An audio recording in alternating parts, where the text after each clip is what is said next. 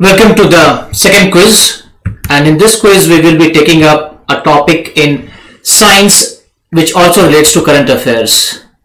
Indeed the most trending topic currently is uh, the Wuhan coronavirus which has so far killed more than 80 people and it's feared that it may even become a global health emergency.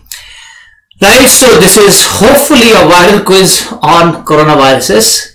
Let's see how much do you know about a topic which you can't avoid reading about on a daily basis. So here we go, question number one.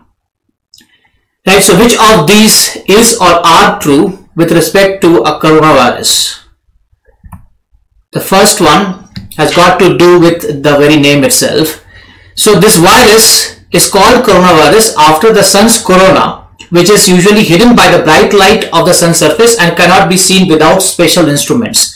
That's your first statement. And the second statement is that the Wuhan coronavirus causes pneumonia which can be treated with antibiotics if the immune system of the patient is healthy.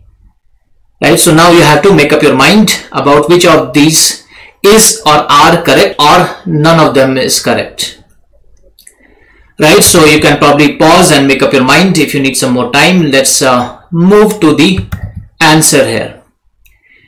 The answer here is what do you think? Statement number one. I mean this had to come to your mind right? Why is it called a coronavirus? It is not true. And statement number two Indeed, it causes pneumonia, but again, it's logical. If it could be easily treated with antibiotics, then why would the world be so worried about this disease at all, right? So the answer here is neither is true. Both these statements are false.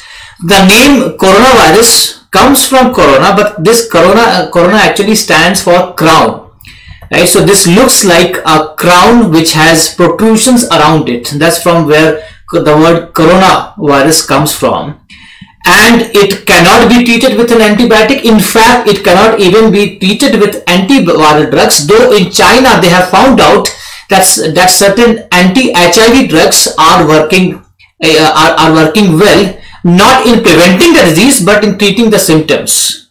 So this is all we know about the coronavirus uh, so far from, from China that no drug except for certain anti-HIV drugs are working on it. Let's go to the second question now.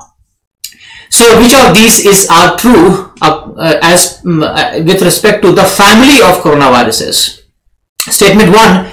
People around the world commonly get infected with human coronaviruses. And statement number 2. Since 2004, there have not been any known cases of SARS, severe acute respiratory syndrome, which is of course caused by a coronavirus reported anywhere in the world. So again, make up your mind, one only, two only, both are true or neither is true. Alright, so again, let me think with you. People around the world commonly get infected with uh, I have to be careful when I read sentences. I have to keep my uh, tone very neutral, otherwise uh, the biases may show up and you may end up marking the wrong or right answer based on that. Right, so uh, let's get to the answer here. In this case, both are true. Yes, you also might know, without you knowing, it's probable that you could have been infected by a human coronavirus not all coronaviruses are deadly. In fact, other than SARS, only MERS, Middle East Respiratory Syndrome, and now the 2019 uh, novel coronavirus, they have been found to be deadly. Right, so it's not really surprising that uh, the human coronaviruses are among the most common infection ca causing uh, microbes in the world right so do not really panic. So the, if, if if you have any coronavirus other than SARS MERS or the 2019 coronavirus for example the 229E coronavirus leads to common cold which can be treated even without you visiting a doctor. Right and the SARS uh, as you probably know in 2002-2003 SARS caused havoc around the world. Just like the 2019 coronavirus it originated from China and then it spread to neighboring countries. Overall, more than 750 people died as a result of that. And after that, this has not been found. In fact, for the 2019 virus, it was being believed initially that this might be a recurrence of SARS, but it is now conclusively established that this virus has a completely different structure from, from the SARS coronavirus. We do not really know what it is, but we definitely know what it is not. Now let's come to the third question.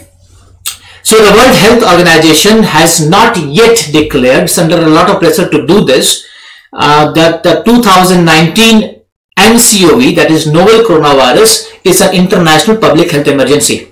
The question is, and technically the international public health emergency is called as public health emergency of international concern PHEIC by the World Health Organization.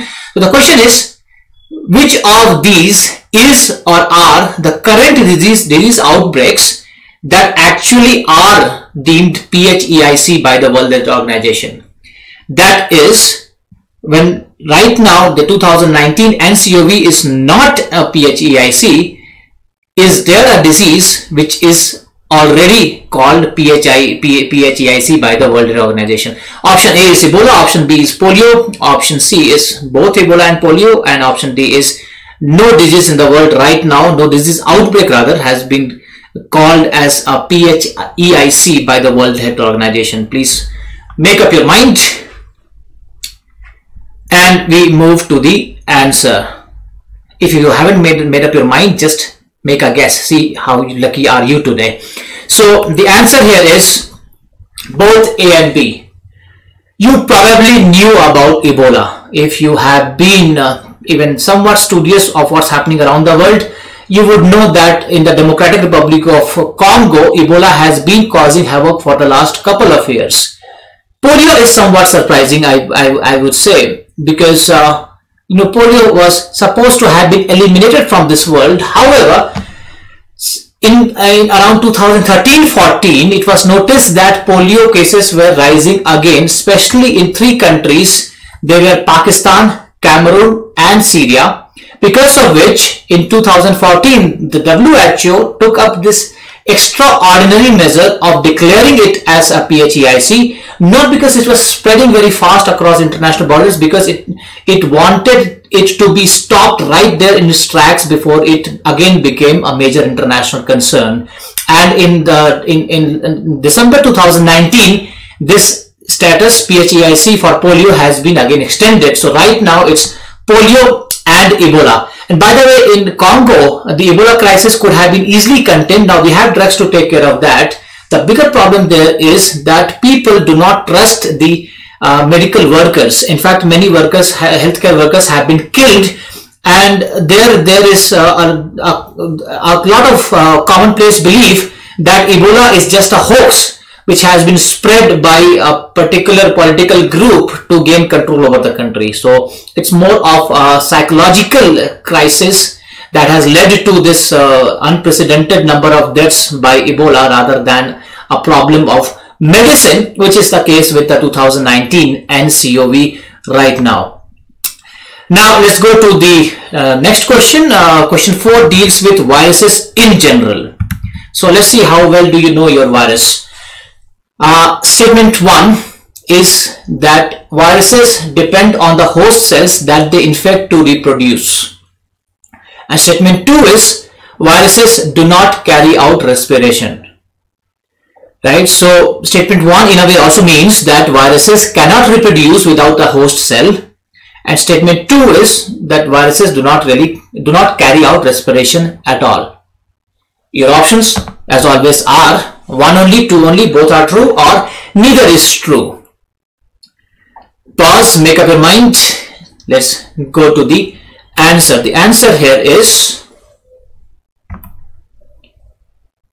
it is both are true. Indeed, uh, both are true. If uh, even if you went to a Wikipedia page of uh, virus and had read read the first two paragraphs, you would have come across these facts.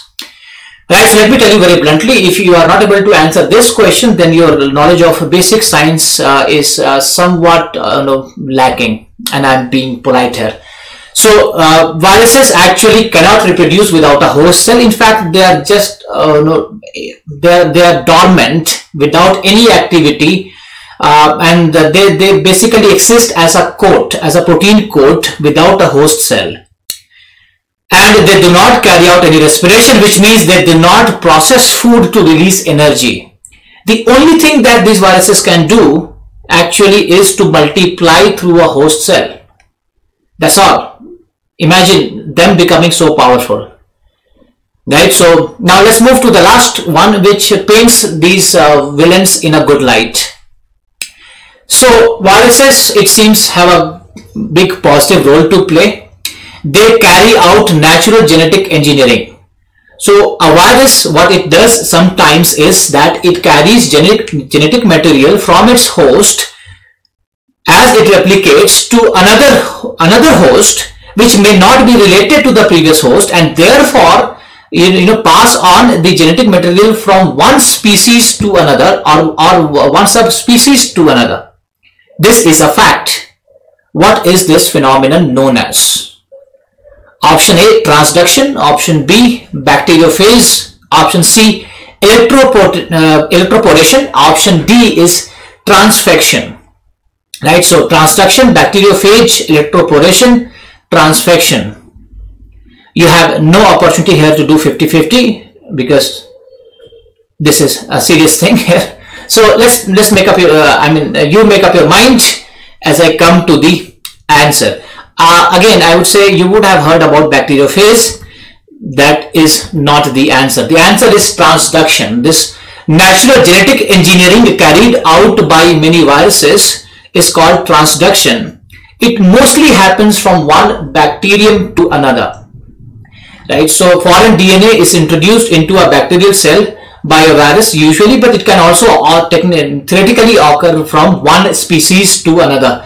Bacteriophage basically it's not not not a not not a process it's a noun so you could have rejected it even on that ground it's a virus that infects and replicates within bacteria and bacteriophages have a very important role to play in in our defense mechanism against uh, certain bacteria. And a lot of research is carried, being carried out, including treating certain kinds of cancer. Bacteriophages have a use there. Electroporation is uh, simply the use of an electric field to make cell membrane permeable, while transfection is uh, deliberately introducing certain pure nucleic acids into the uh, eukaryotic, the, the embryotic cells. Right, so the answer here was A and that ends the quiz for today. I mean, I would like it if you could put your score and rate this uh, on difficulty level and how realistic it is for your, uh, you know, uh, for the purpose for which you have been using. Alright, so I leave you with uh, this. I was about to write subscribe when I came across this meme. So yeah it's up to you if you want please subscribe anyway i will be regular with the quizzes so thank you and uh, see you in the next quiz